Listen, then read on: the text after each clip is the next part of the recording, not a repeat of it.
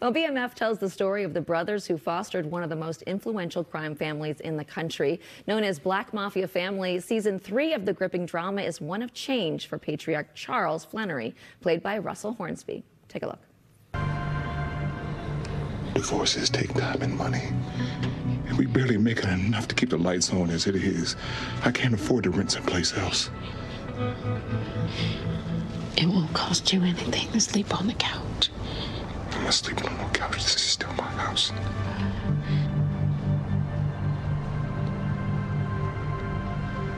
You stopped being the head of this house a long time ago.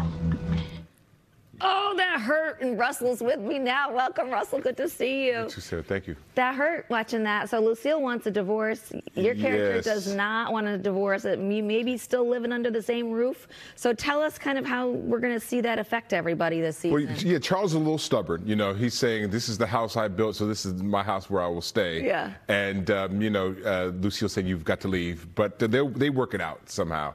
Uh, but it is. This is a season of change, Yeah. and Charles is uh, changing for the better. I think. You know, you take a little valley and you have to go back up and, Yeah. and flow again.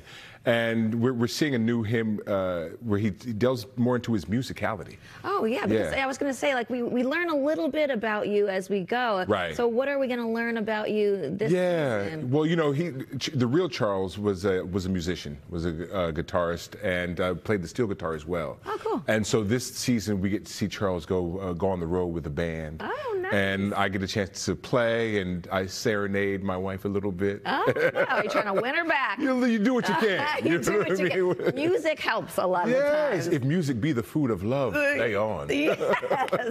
All right. Well, there are a lot of new guest stars this season too. Ne-Yo. Ne-Yo, yes. Isn't it Cynthia Bailey, 2 Chainz, uh, Lil Baby, Saweetie? So whenever when all those people come on, and you know they're big names in their in their own right, when they come on, what does that do to the energy on the set? Well, it, it enlivens everybody. Yeah. You know, I mean, because they, you know they come with a, a different kind of energy, which is a great energy. Yeah. And they come with their entourages, and everybody's just really excited. Yeah. But the great thing about it is the musicians, they they come ready. They Yeah. they come prepared, come ready to have a good time, and just participate at the highest level. Yeah. So it takes everything up a notch. Yeah, and I know that you wanted to be part of this because you really wanted to mentor Yes. some of these younger actors. What did you want to teach them? What, why was that important? You know, I think prof- professionalism is an art. Yeah. You know, uh, to learn, you know, how to show up on time, how to show prepared, that uh, being on time isn't coming at your call time, it's coming before. Yeah. You know, those little things uh, that, you know, kind of make you uh, a person that people want to work with, yeah. you know, every day on a, on a regular basis and call back. Well, it's, it's about a level of respect, too. It's about respecting the job, but also respecting the people. The people, that- yes, You know, a lot of the younger generation don't really get that. I, you know, it's it's true. I mean, and, and when I was coming up, they told me when you were messing up, they told you you messed up. Totally, and now they're like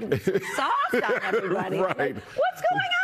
So I'm able to give him some little looks, and I pull him to the side, you know, scold a little bit, you know. Good. I say, everybody, the camera people, the crew, they're they've all been here three hours before you got here. yeah, so respect. So yeah, them. respect them. All right. Well, so you're also starring. Uh, you're back on the stage, which everyone's very excited about. Yes. You're starring in an off-Broadway show. It's called Sunset Baby. Tell us a little bit about it. Well, Sunset Baby is a play written by the lovely Dominique Morisseau and directed by Stephen Broadnax III. It, uh, it's about uh, an estranged uh, daughter who's the, the daughter of two revolutionaries. Uh, and her mother, she lost her mother, but her father has since uh, returned from prison after doing a long stint in prison and is coming to retrieve these letters Yeah. uh, that the mother wrote him and the daughter has in her possession. And so there's a, a sort of a, a back and forth, if you will, between the father and the daughter about who has the rightful owner of these letters. So, what was it that made you that drew you into that project? Because I feel like you're such a busy guy. Always got a lot going on. You got to be selective. You do. I, I think for me, stage is is my first love. Yeah. And and it's I, I said to to my wife and some friends of mine that I have to go and, and sort of put my mask on first again. Yes, You know, and get that oxygen back. For And sure. uh, and sort of be an artist again. And so to come back to the, the origins of the stage and what you love, uh, there's nothing better. Yeah, it's like filling that tank back up, 100%. right? Yeah. All right. Well, you can catch BMF this Friday, March 1st, on Starz at 8 p.m.